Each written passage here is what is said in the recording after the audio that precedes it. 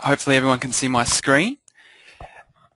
We're going to show off the Sitecore Online Marketing Suite today, um, and we're going to go through a technical deep dive. Um, my name is Timothy Ward. I'm the lead solution architect for Australia and New Zealand. And if you have any questions during the presentation or after, feel free to email me at tiw at sitecore.net. So let's have a look at what we're going to look at today. First of all, we're going to go through a technical introduction.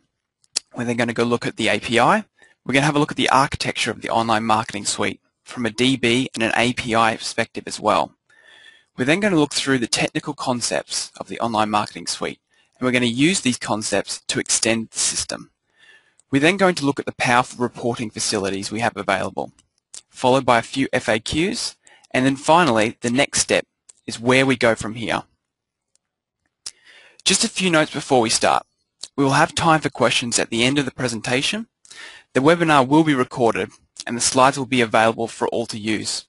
Uh, the final slide will show you where to get the webinar and the slides from.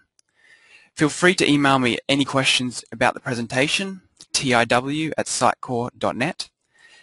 There are some code examples that are used throughout the demo will, which will not be made for, um, available for public use. And like the name suggests, just a small caveat, this is a very technical deep dive. So some of the basic understandings of the online marketing suite is really necessary to get full understanding of all the concepts that are being presented today. So let's first dive into the system requirements.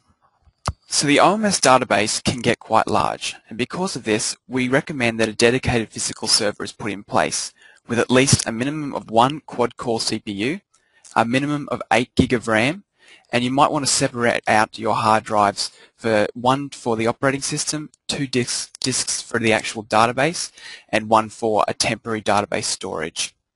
We do recommend Windows Server 2003 or 2008 for the installation, and of course using the 64-bit is recommended.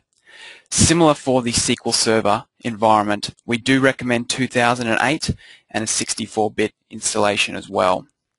We also emphasize the importance of a relevant maintenance plan in order to keep indexes tuned so your database is always running as quick as possible. We will actually show you during this presentation how you can set up and build a maintenance plan. Just a couple of the environmental settings. You might want to consider putting the analytics database in a clustered server. So, for example, as a best practice, we recommend that you place the OMS database on a separate SQL server or cluster than the existing core, master, and web databases that Sitecore needs. You might want to also consider larger hardware facilities, such as solid-state disks, extra CPUs, and memory. We have done some extensive testing within Australia and shown that 400 users browsing your website will average about 4 megabits of analytics data per minute. This is obviously depending upon what your users are doing, but this is just an average aggregate.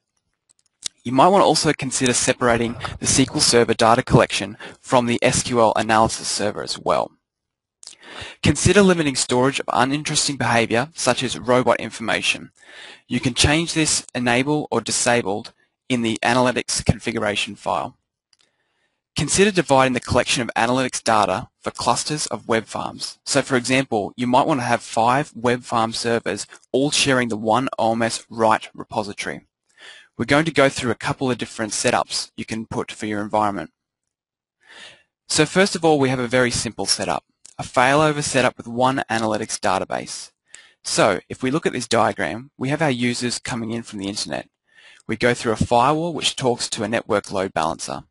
From here, we have multiple different web servers that talk to a content management system and a separate analytics database. We can, of course, extend this out to a much more complex infrastructure. So the infrastructure that we suggested before with the clustered servers can be shown here. We have a firewall that talks between two network load balancers, which then talks to two web farms. These web farms talk to analytics databases. One of the important things to mention is that only one of the analytics databases has to be set up as the indexer. So you can have multiple different analytics systems setting up on one server that don't index your databases. This will be shown in the Sitecore web.config file. How do we create a maintenance plan? Well, first of all, open your, your SQL Management um, Service Studio and you'll want to go to the Management and right-click on Maintenance Plans. First of all, you'll be given a wizard. You'll want to step through all the steps, filling it in with the following data. First of all, you have to specify a name to rebuild your indexes. Make sure that you select Single Schedule for the entire plan or No Schedule, and click Next. The next screen you will see is the tasks that you want to run. The ones that you'll want to check are check database integrity, rebuild indexes, and update the statistics. Please click Next. Next, you want to actually select the database that stores all your analytics information and click OK. The next step is to specify the rebuild index task. So, first of all, we'll specify our database in the first field Make sure that you have Keep Index Online while re-indexing turned off. Then you want to update statistics task. You want to select the actual database, make sure that you specify all existing statistics under the update heading and also a full scan as the scan type and click next.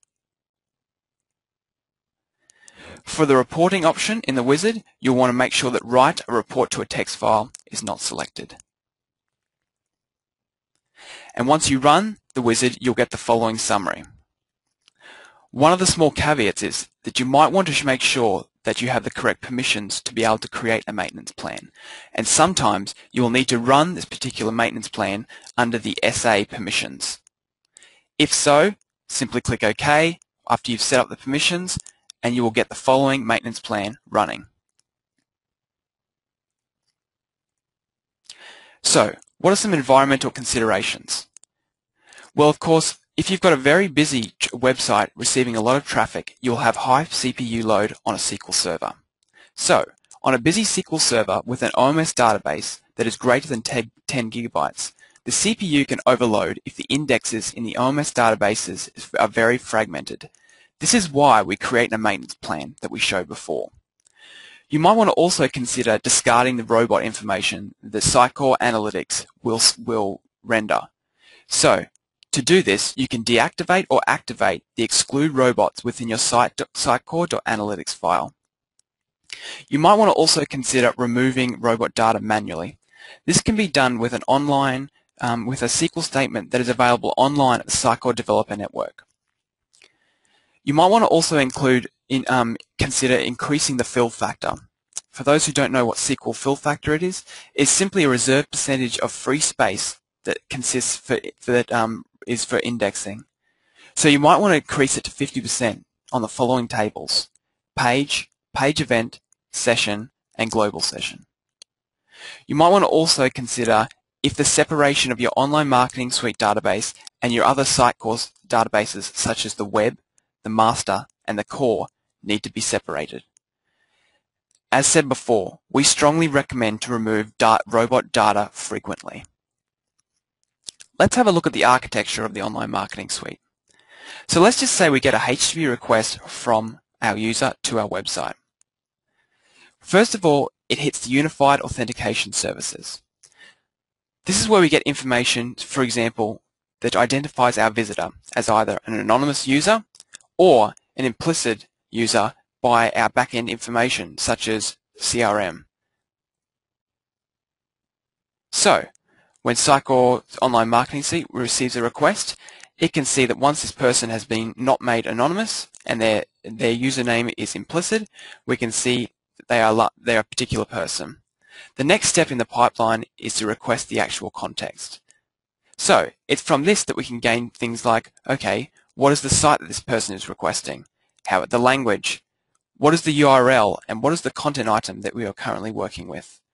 It could also resolve devices. So, what information do I have now?